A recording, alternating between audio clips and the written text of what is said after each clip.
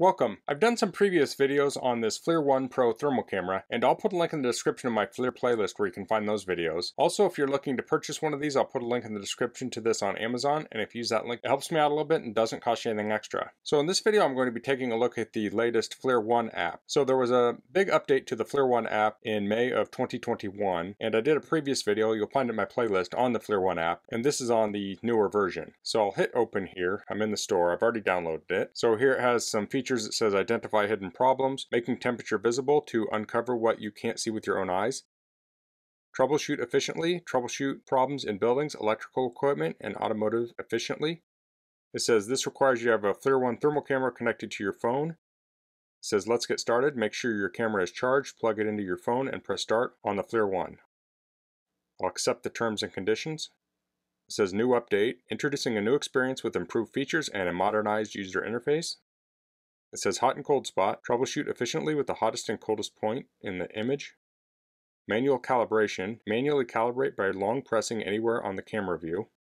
Notes, add notes to your images to document your findings. Help learn the basics of how to use your FLIR One device. I'll hit done. It says to connect it, and I already have it connected. Although I think it's shut off. Let me turn it back on. Okay, there we go. Okay, and I have a battery charger here. If I look at the display on the charger, it says full 198 full full. So the second one is still charging. Interestingly, the third one's the hottest. Let's see if I can feel that. I mean, yeah, it's warmer. Pretty interesting. So let's go over this a little bit. So if I tap in the upper left, we have our gallery. So this is stuff I've taken pictures of in the past. I can hold down on the screen to calibrate. On the bottom left, we have a menu. So it says we're connected to the FLIR One Pro. Our battery is at 99%. We have settings. We have units, date, and format. Temperature units is currently Celsius, and I use Fahrenheit most of the time. We have our time format and our date format. Next we have temperature range. We have minus 40 degrees F to 248 degrees F and 32 degrees F to 752 degrees F. So I'll do the first option. Let me go back into there real quick so you can see the Celsius ranges. So those are on the screen here. Next we have emissivity, and we have matte, which is recommended. Then there's semi-matte, semi-gloss, or glossy. And it says here at the bottom, emissivity is the measure of how efficiently an object radiates heat. Choose what best resembles the material qualities of an object that you are observing. And then we have save location. So it says if a GPS signal is available, the location will be added to the captured images. This makes it possible to see images on a map. So that's probably a really nice feature if you're an inspector or something. You can have that on and then if you have an image and you don't know where you took it, you could pull that up on a map and see it was at a customer's location or something. Next we have help. We have how to use. And it looks like there are instructions. So that looks really nice. I'm not going to go through all of these obviously. Frequently asked questions.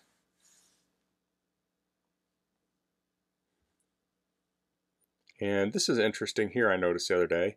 This says Teledyne FLIR, and just very recently they were purchased by Teledyne, or they merged or something. So you'll probably see that Teledyne FLIR more often. And it looks like you can ask a question here. It's all built into the app, so that looks nice. So back into the app, we can take a picture here by pressing the big white button. I can drag down, and that brings up the white button with the dot, and that's for video. So if you want to switch between regular and video, you can do that there. I'll hit the button just to the right of that, and we have mode. So it says multispectral dynamic imaging, infrared, digital camera. So here we can switch between the different modes. Next we have measurement. So this is where we do our spot measurements. So let's see, to remove these, I'm not quite sure how to remove these. Let's see. Okay, so if I drag them, the shutter button will turn to a trash, and then I can just drag them onto there and get rid of them. Looks like we have a hot also, and a cold maybe. Not completely sure how to use those. Now it does have the instructions there, so I could probably go through the instructions and find out exactly how to use those. Oh, I see it now. Okay, so you can see in the upper right we have the little blue dot. So that's kind of chasing the coldest part of the image. And then on the bottom left we have the little red dot that's chasing the hottest part of the image. So I'll click on those options again. We have color. And this is where we can switch to different colors. So I'm on iron now. But we have the color wheel, rainbow, lava, iron. Let me move this more into the image here. Hottest, gray, contrast, coldest, and Arctic. So let me go back to iron here. the bottom we have automatic and manual, so we're on automatic mode. I'll hit manual. So now I can tap on the side and I can change the mode.